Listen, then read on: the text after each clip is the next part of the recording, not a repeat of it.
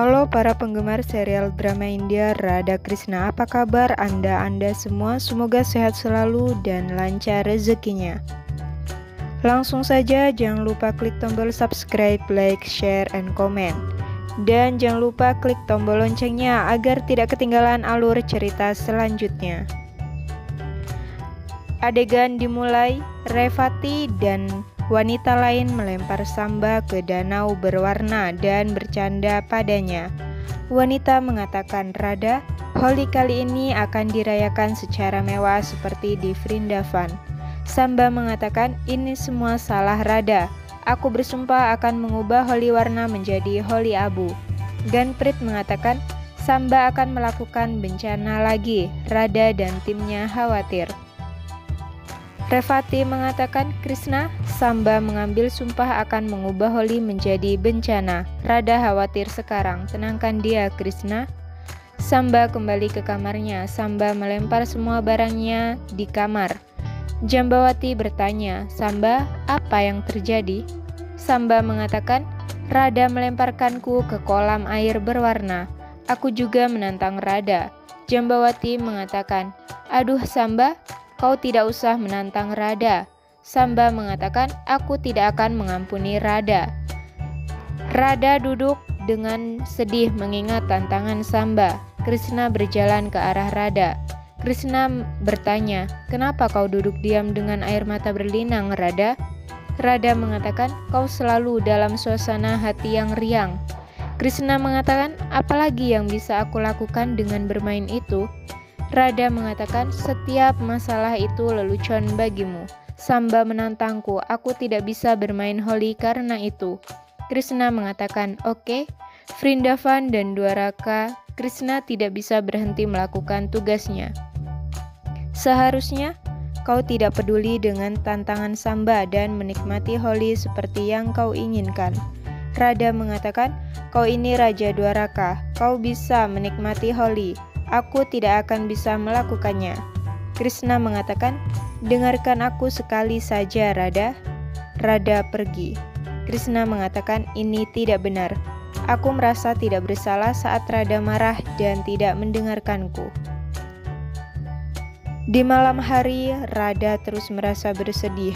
Balaram berjalan ke arah Radha. Balaram bertanya, "Apa kau baik-baik saja, Radha?" Rada menjawab, aku merasa bersalah karena membuat Krishna sedih.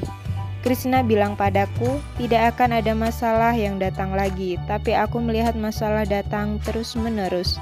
Sekarang Samba menantangku untuk mengubah warna Holi menjadi abu Holi. Balara mengatakan, berhenti memikirkan itu, kau tidak boleh sedih. Krishna mengatakan, kakak benar. Rada berjalan ke Krishna. Rada mengatakan, jika aku belum tidur, Krishna pun tidak akan tidur. Krishna memainkan bansuri. Radha bersandar di pundak Krishna. Radha mengatakan, "Krishna, maafkan aku sudah membuatmu marah. Aku terlalu khawatir dengan tantangannya Samba." Krishna mengatakan, "Kita tidak bisa bahagia atau sedih karena kita ingin bersatu." Kita perlu bekerja keras melakukan perbuatan yang akan menyatukan kita selamanya. Rada mengatakan, Dewa Sani bilang semua masalah kita akan selesai dan kita akan bersatu kembali selamanya dengan damai. Krishna mengatakan, Dewa Sani bilang semua masalah akan datang dan berakhir. Kemudian kita akan bersatu dengan damai. Rada mengatakan, Maafkan aku karena sudah salah paham untuk tidak bermain Holi. Sekarang, aku akan melakukan Holi bersamamu seperti di Vrindavan. Krishna mengatakan, kau tidak akan melihat senyum bahagia yang sama di wajahku lagi. Radha mengatakan, kau harus tersenyum. Krishna mengatakan, mengambil keputusan tanpa memikirkan hasilnya itu salah. Kau harus menanggung konsekuensinya sekarang. Radha mengatakan, masalah tidak akan segera berakhir. Kita tidak akan bersatu kembali dengan mudah. Ini akan menjadi holi terakhirku di bumi bersama Krishna. Karena itu, aku akan membuat Krishna bermain holi denganku dengan senyuman dan lelucon seperti sebelumnya. Tidak ada yang bisa menghentikanku untuk melakukannya. Di sisi lain, Nisa dan Ulmuk melihat Gopi menyiapkan kolam berwarna untuk mereka. Gopi bersedih. Gopi mengatakan Rada tidak ingin melakukan holi. Nisa dan Ulmuk memutuskan untuk mendorong Gopi di kolam berwarna mereka sendiri dan melakukan hal yang sama. Gopi bertanya apa yang kalian lakukan. Nisa dan Ulmuk mengatakan, kita melakukan apa yang kalian rencanakan. Gopi mengatakan, kita tidak akan merencanakan apa pun. Krishna masuk. Nisat dan Ulmuk mengatakan, kita mengikuti jejakmu. Nisat Ulmuk mendorong Gopi di kolam buatan mereka sendiri. Krishna pergi tanpa menjawab. Nisat dan Ulmuk merasakan kesedihan Krishna. Revati sedang sibuk menggambar ranggoli. Revati melihat Krishna lewat. Revati mengatakan Rada akan menyukai ranggoli ini. Krishna pergi dengan diam-diam. Revati bingung melihat Krishna bersedih.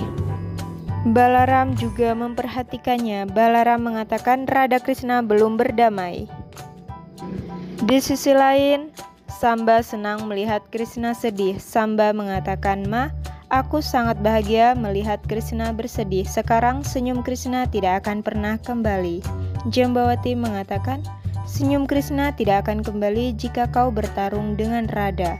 Samba mengatakan itulah yang telah terjadi. Sekarang aku akan membakar cinta Radha Krishna menjadi abu. Dua raka akan bermain holi dengan abu itu. Mungkin cukup sekian sinopsis kali ini dan terima kasih.